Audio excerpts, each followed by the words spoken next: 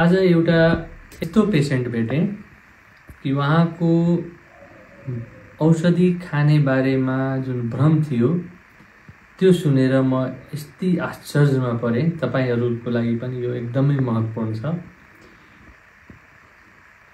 प्रेसरको औषधि खाँदा बानी पर्छ भनेर उहाँले यति ठुलो मिस्टेक गर्नुभएको रहेछ। उहाँको केही दिन अगाडि मुटु कमजोर भएको रोग पत्ता लाग्यो र सँगसँगै ब्लड प्रेसर पनि हाई रहेछ अनि डक्टरले उहाँलाई मुटुको र ब्लड प्रेसरको पनि औषधि दिनुभयो।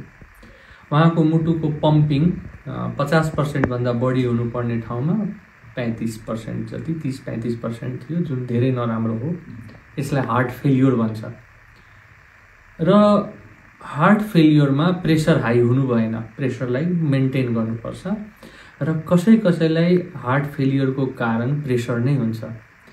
सो प्रेसरलाई कन्ट्रोल नगरेसम्म हार्ट फेलियर ठिक हुनै सक्दैन र हार्ट फेलियर भएको बिरामीको विभिन्न रिसर्चले के भन्छ भने तथ्याङ्कहरूले कि एभरेजमा औसतमा अलिक बढी अलिक कम गरेर त एभरेजमा पाँच वर्ष मानिस बाँच्छ। प्रेसर यो हार्ट फेलियरका बिरामीहरू जसको मुटु कमजोर हुन्छ। राम्रो उपचार गर्यो भने या कसैलाई केही कारण रहेछ त्यो पत्ता लाग्यो भने राम्रो अनि त्यो व्यक्तिको आयु लामो लामो हुन्छ।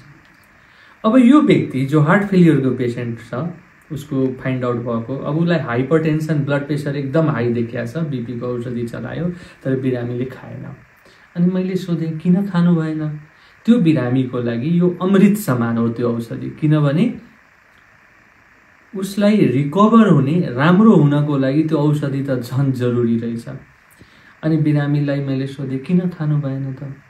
होइन डाक्टर साहब यो प्रेसरको औषधि त बानी पर्छ अरे त्यसैले खा नखाएको भनेर। कतिसम्म सोझा हुन्छन् मान्छेहरू बिरामीहरू हेर्नुहोस् कि अब त्यो प्रेसरको औषधि खाएन भने ऊ केही वर्ष बाँच्छ। प्रेसरको औषधि खायो भने त उसको आयु बढ्ला उसको हार्ट फेलियर ठिक हुनसक्छ तर यो मानसिकता जुन उसको दिमागमा थियो त्यसले उसलाई रोकिदियो उसलाई सोच्न पनि दिएन कि मेरो जीवन भए नि बानी पर्ला या चारवटा औषधि खानु पर्ला या दसवटा खानु पर्ला जीवनै नै छैन। तपाईँ तिन चार वर्षमा सकिहाल्नुभयो अब। त्यो औषधि यो बानीले के मतलब? यतिसम्मको नेगेटिभ थट मानिसलाई हुन्छ औषधिको लागि। औषधिको निर्माण किन भएको छ त? केही राम्रो गर्नको लागि भएको होला नि त। यतिकै मान्छेले पोइजनको रूपमा त औषधि बनाएको होइन। यदि त्यो औषधिको सही सदुपयोग गरियो भने त त्यसले त हाम्रो शरीरलाई फाइदा गर्छ। प्रत्येक कुराको साइड इफेक्ट हुन्छ। तपाईँ के कुराको साइड इफेक्ट छैन? अक्सिजनको साइड इफेक्ट छ पानीको साइड इफेक्ट छ तपाईँले खाने खानाको साइड इफेक्ट छ। सो हामीलाई अरू सबै कुरामा साइड इफेक्ट हामीले हेर्नु पर्दैन। तर औषधिको बानी पर्ला साइड इफेक्ट हुन्छ भने हामी पिर पर्छ। र यस्तो ठुलो ठुलो मिस्टेक्स जसले ज्यान नै जोखिममा पारिदिने मिस्टेक हामी गर्छौँ। तर साँच्चीकै भन्दाखेरि प्रेसरको औषधिको बानी पर्दैन। यो चाहिँ मैले आफै बाह्र वर्षदेखि विभिन्न मेडिकल कन्टेन्टमा भिडियोमा पोस्टमा हाल्दै आइराखेको कुरा हो। तर अझ पनि मलाई लाग्छ भोटिङ गरियो भने दस बिस लाखले अझ भन्लान् कि प्रेसरको औषधिको बानी पर्छ।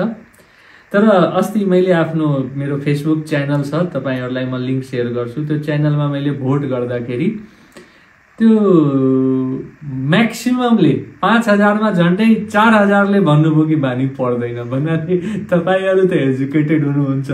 अब यो निरन्तर यो मेडिकल अपडेटको कारणले। तर धेरै मानिसलाई थाहा अझ पनि थाहा छैन कि प्रेसरको औषधिको बानी पर्दैन। प्रेसरको औषधिको बानी पर्छ कि पर्दैन? किन के अरे किन पर्दैन? यो कुराहरू म अर्को भिडियोमा राखौँला। तर अहिलेको लागि हामीले यति बुझ्नुपर्छ कि यदि सही तरिकाले प्रयोग गरियो भने प्रेसरको औषधि हाम्रो शरीरलाई मृगौला बिग्रिनबाट त्यसपछि स्ट्रोक हुन प्यारालाइसिस हुनबाट र हार्टको प्रब्लमबाट यसले बचाउँछ। यसले तपाईँको शरीरलाई सुरक्षित बनाउँछ। प्रेसर घटाउने सबभन्दा स्ट्रङ सबभन्दा पावरफुल सबभन्दा प्रभावशाली र विश्वासिलो मेथड नै हो प्रेसरको औषधि खाने। कसैको धेरै हाई प्रेसर भएर आछ भने औषधि खानु पर्यो इमिडिएटली अब त्यो व्यक्तिलाई दौड भनेपछि झन् बिपी बढ्ने भयो।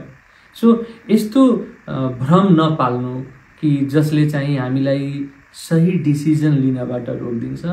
मलाई हेर्दाखेरि म एकदम आश्चर्यचकित भएँ कि यति हदसम्म मान्छेले सोच्न सक्छन् कि त्यसैले म के भन्छु भने प्रेसरको औषधि लाइफ लङ खाने होइन। लाइफलाई लङ गर्नको लागि खाने हो। यो याद गरिराख्नुहोस्। लाइफलाई लङ लाइफ लङ औषधि खाने होइन प्रेसरको या सुगर कोलेस्ट्रोलको यी औषधिहरू लाइफलाई लङ गर्नको लागि हामी खान्छौँ।